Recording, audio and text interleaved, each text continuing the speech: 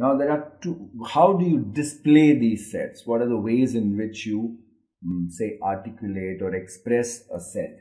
There are two major ways of uh, displaying. We have the roster form which is also called the braces form. It is another name is called the listing form of writing a set wherein you actually write the name of the set say A and you write the elements one after the other A, E, I, O, U. So this is the listing form. Similarly, if I'm talking about say the weekend days, so you actually write the weekend days that is Saturday and Sunday, right? And suppose you say uh, list the elements in the set, list the letters in the set of words in rose. So we write it as R, comma O, comma S, comma E. So we are actually listing down the elements. The same thing can be written in set builder or algebraic form. For example, A is nothing but the set of vowels. So we say it is a set of vowels in the alphabet, that is in the English alphabet. We can even write it this way.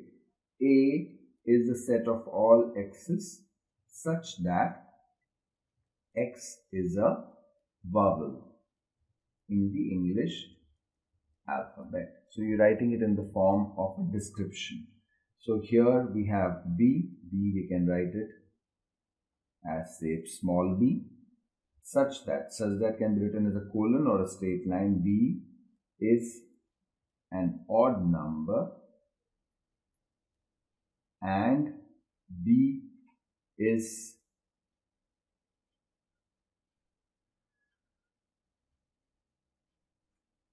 we write it like this b is greater than or equal to 1 or less than or equal to 11 so it's an odd number so you're writing it in the descriptive form or the algebraic form or the set builder form in which the elements are not actually listed. You're giving a description which is put inside this. Similarly here, C is a set of even numbers between 1 to 12. We can say C is a set of all C's such that we can write it this way. C is the set of all say X's or C's such that X is a an even number.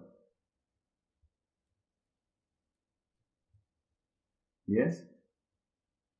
Between 1 and 13 so it's an even number between 1 and 13 or it is an even number greater than equal to 2 and less than or equal to 12 so this is another way of writing. So these are the two ways. There is a listing method and the set builder or algebraic form so furthermore let's see how we can do say for example here we have an example e is a set of all x's such that x square minus 3x plus 2 is 0 or we say x such that x square minus 3x plus 2. So which are the elements in this? So if you solve this equation, if you see, it means, what actually does it mean? It means all the x's that satisfy this equation. So if you solve this, you get x square minus 2x minus x plus 2. This will give you, solving it, will give you x is 2 or x is 1. So the same descriptive form can be written it as 2 comma 1 can we write it as 1 comma 2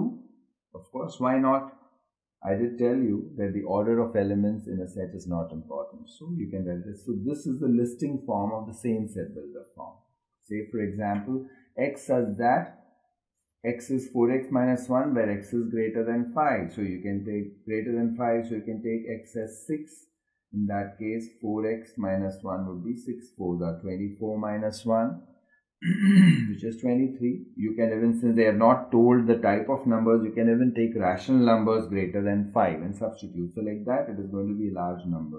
So you're going to write all these numbers like 23 and so on and so forth in this so we have 23 27 and 31 because they have considered of course that x is belongs to the set of natural numbers. They're considering all the natural numbers. X which satisfy these equations where x should be greater than 5 and less than 9 that is 6 7 and 8 are being considered. So 4 into 6 24 minus 1 23 4 into 7 28 minus 1 27 4 into 8 32 minus 1 31 so again this is a listing form of the same set so these are examples of how we can convert one form to the other Okay. Now let's take the small quiz just as a refresher.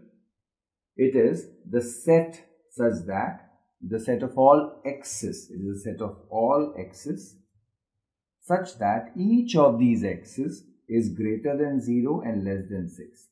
So that means when, when x may be integral values, that means natural numbers or integers, in that case it is going to be 1, 2, 3, 4 and 5. So that means you're talking about the set containing these elements 1, 2, 3, 4, 5 which are integers and greater than 0 and less than 6. So among these, this is the correct answer. Option number B is the correct answer. Okay, then set 0, 2, 4, 6, 8, 10, 12 can be written as what? Each of these is an even number. So actually each of these can be written as 2x such that x could be greater than 0. No, if it is greater than 0, 0 would not feature. So it has to be greater than or equal to 0 because if you take 0 starting with 0, 2 into 0, 0. If you take x as 2, 2 into 2, 2 into 1, 2. If you take x as 2, 2 into 2, 4. So it has to be between 0 and also includes 6. So finally, if you take x as 6, you get 2 into 6, 12. So 0, 2, 4, 6, 8, 10, 12 can be represented by this particular set. It is a set of all two x's such that x is greater than or equal to 0 but less than or equal to 6. So this is what we have. So 2, 4, 6, 8, 10, 12. So among these, this is the right answer. Right. So this is another simple example. So that's what we have, what we got it. Furthermore, okay.